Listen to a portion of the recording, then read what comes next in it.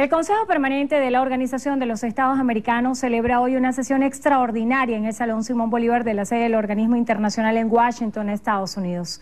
Durante la reunión se considerará el proyecto de declaración del Consejo Permanente en apoyo al proceso de diálogo nacional en Venezuela. Este fue propuesto por Argentina, Brasil, Canadá, Honduras, Estados Unidos, México y Perú.